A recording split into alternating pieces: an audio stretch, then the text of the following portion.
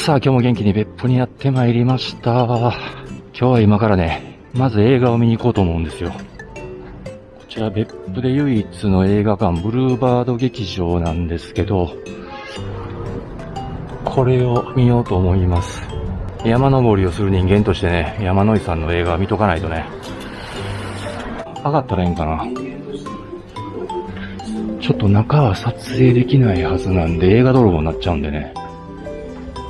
すごい歴史のある映画館ですね。で入場料が1800円。ブルーバード劇場は普通の映画館とはちょっと違って映画のセレクトショップみたいなそんな感じの映画館なんだろうと思います。厳選された映画が上映されてるってことですね。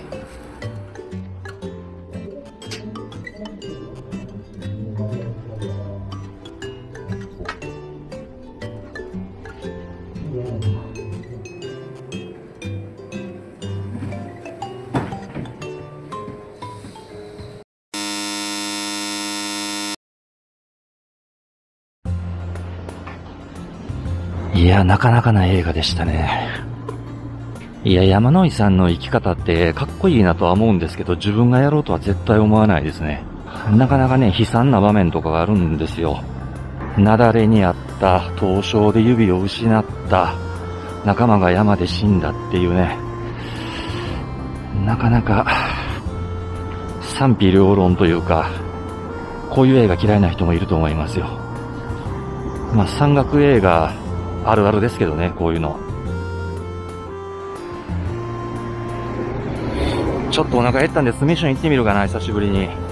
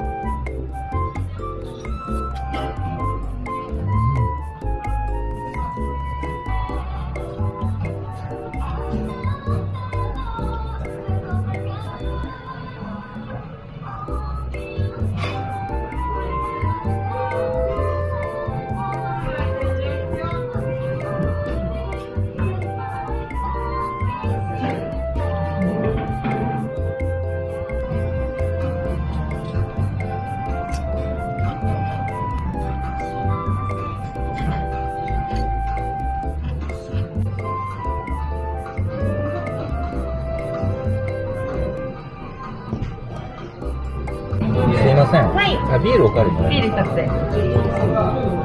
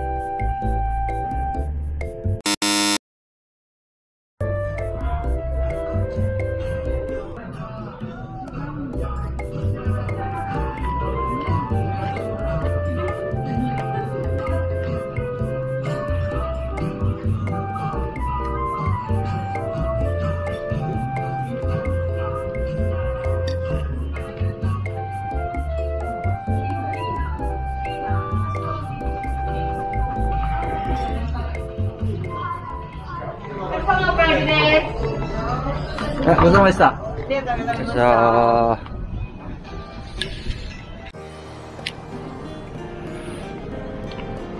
いや、久しぶりのスミシュンうまかった。やっぱりね、スミシュンはね、島町ですよ。あれがめちゃくちゃうまい。プリップリで。別府では貴重な昼から夜まで投資営業してる居酒屋さんなんで、ぜひ行ってみてください。駅の目の前です。